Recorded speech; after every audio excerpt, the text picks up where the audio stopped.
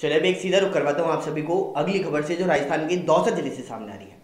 राजस्थान की दौसा ज़िले के अंदर एक छात्र के साथ में मारपीट करने का मामला सामने आया है। जहाँ पर आप सभी को बता दूँ कि छात्र घर से विद्यालय जाने के लिए निकला और उसके बाद में विद्यालय में किसी विद्यार्थी के साथ में, उसके साथ में कहा सुनी हो इसी के चलते हुए ये पूरी मारपीट का मामला सामने आया है। मारपीट इस हद तक की गई है कि मारपीट करने के बाद में उसे अस्पताल में भर्ती करवाना पड़ा।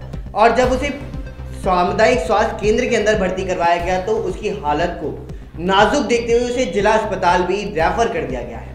क्या कुछ ये मामला बयां कर रहा है? कि आखिरकार क्यों मारपीट की गई है?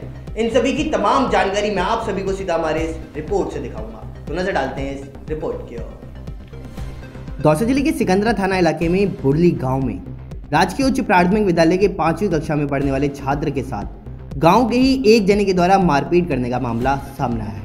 छात्र के अभिभावकों ने सिकंदरा थाने में एक जने के खिलाफ में छात्र के साथ में मारपीट करने का मामला दर्ज कराया।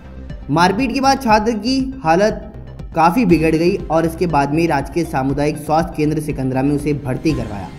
जहाँ पर चिकित्सकों ने गंभीर अवस्था देखते हुए जिला अस्पताल रेफर कर दिया और पुलिस ने बताया कि धर्म सिंह गुजर ने मामला दर्ज करवाया कि उसके भाई का लड़का कप्तान, राजकीय उच्च प्राथमिक विद्यालय बुरली में पाँचवीं कक्षा में पढ़ता है। मंगलवार को छात्र घर से स्कूल गया था, जहाँ पर किसी अन्य छात्र के साथ में कहा सुनी हो गई। और इसी बात को लेकर के गाँव के ही महेंद्र सिंह गुजर ने छात्र कप्तान के साथ में मारपीट कर दी। मारपीट के बाद छात्र बेहोश हो गया और परिजनों ने छात्र को अस्पताल में भर्ती करवाया है, जहाँ पर चिकित्सकों ने जिला अस्पताल में रेफर किया और फ़िलहाल छात्र का अस्पताल में इलाज भी जारी है। पुलिस ने मामला दर्ज करके जाँच शुरू की।